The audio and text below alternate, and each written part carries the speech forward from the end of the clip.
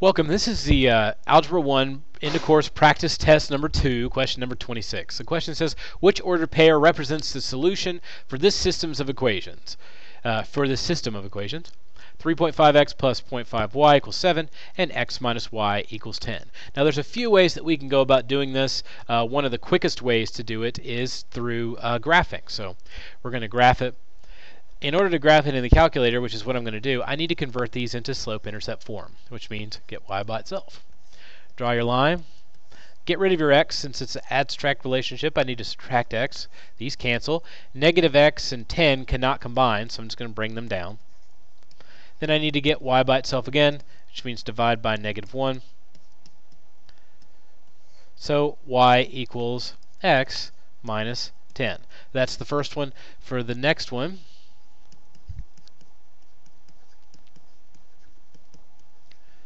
Draw my line, subtract 3.5x. One of the biggest things I see people do is combine the negative 3.5x and the 7. That can't happen. It's like apples and oranges. You can add as many oranges to a bag of apples as you want, but it's not going to make any more apples. It's just going to give you a bag of oranges and apples mixed together. Divide by 0.5. So I do negative 3.5 divided by 0.5, and it gives me negative 7x. 7 divided by 0.5 gives me 14. Now that I have my two set up, so I'm going to graph them really quickly. Hopefully.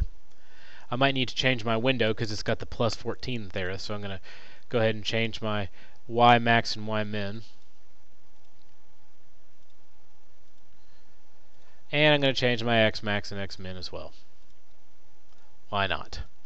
Why didn't I do it before is a better question. So I need to go in, clear out the old stuff. So I do x minus 10 for my first uh, equation, and then negative 7x plus 14 for my second one. I'm going to graph them really quickly. Oops. Apparently my I forgot to add zeros to the back of my window, so see if I can get in and change those from 2 to 20. Sorry about that. They graphs look wonky immediately. So it should still be in there so I can graph them. There's the first one. There's the second one. So what I'm going to do is look for my intersection point. So I'm going to hit second and calc, which is, uh, has a trace. The TI-84 will actually calculate the intersection point for me.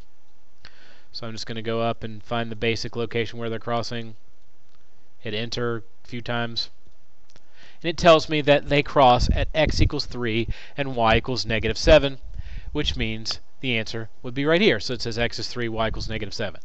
If I don't have that information or your calculator doesn't do an automatic um, intersection, what happens if you have that? That does happen. You can go into the table and find the answer. I know that they cross somewhere in the positive x's. This x represents all the x's that both graphs share. This represents the corresponding y values for the first graph and the second graph. As you can see right here, they're both negative 7, which means these are at the same exact point, so you say 3, negative 7. That's how you calculate these through uh, graphing. Now let's look at uh, elimination. In elimination, I'm going to try to find something that allows me to get rid of one of the variables and then plug it back in.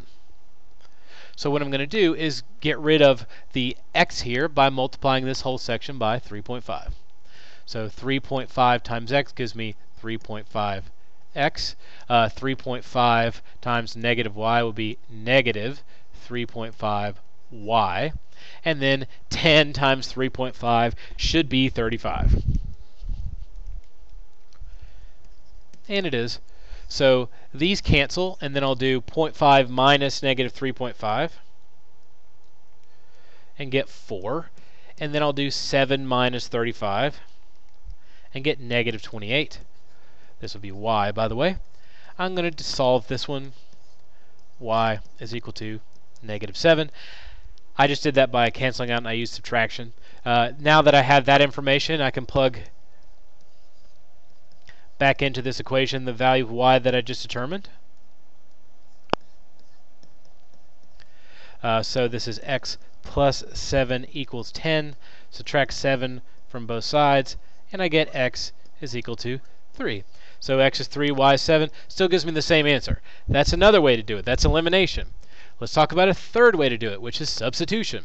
If I can convert my one of my forms into like figuring out what x or y is, so in this case, let's just do x. So I'm going to add y to both sides. So I can say that another way to write x would be to just write y plus 10. So going back into my original equation, I'm going to substitute this new value for x where the old x used to be. And then I'm just going to solve. So I'll do 3.5 times y is 3.5y. 3.5 times 10 gives you 35 plus 0.5y equals 7. I'm going to combine some like terms here. This is looking suspiciously like the one I just did, which is a good thing. You'd want it to.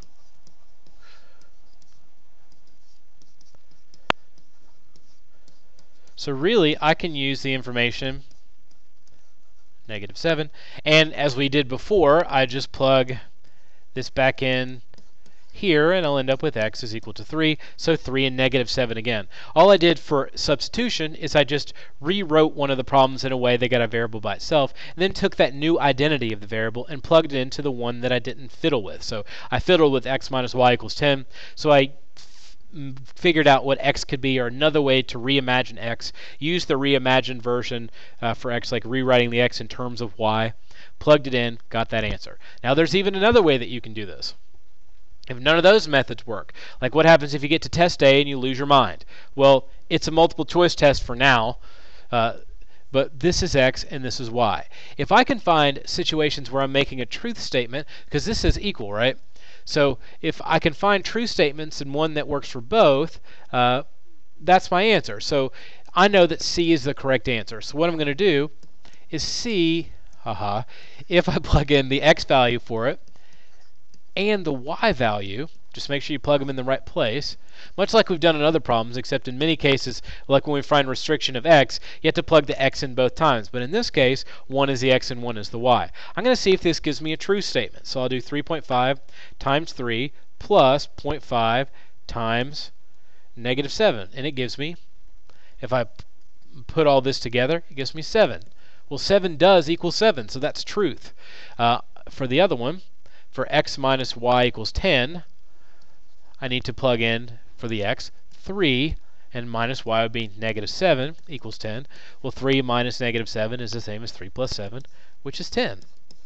So that's a true statement. So I know that C is the correct answer because it made it true for both. Let's show you what I'll show you what happens. Let's like it's there's more than one person here. It's me. Um, I'm going to show you what happens if you plug in D to show you that it will prove it to be incorrect or it won't give you the truth that you're looking for. Uh, so say I plug in um, into this one 3 minus 7. That would be the x given to me in D and the y given to me in D. Well, 3 minus 7 is negative 4, and that's not the same as 10. So if it makes a lie or not a true statement like it's supposed to, then you can say that D is probably not the right answer. If you did um, A, it would give you negative 7 minus 3, which gives you negative 10, so that's not right. And then 7 minus 3 is 4, so B doesn't work either. Um, it's just another way to go about doing it if you don't want to do one of the other methods or you just forget how to do them. So that's four different methods to get this problem right. I hope at least one of them is something that you feel comfortable doing.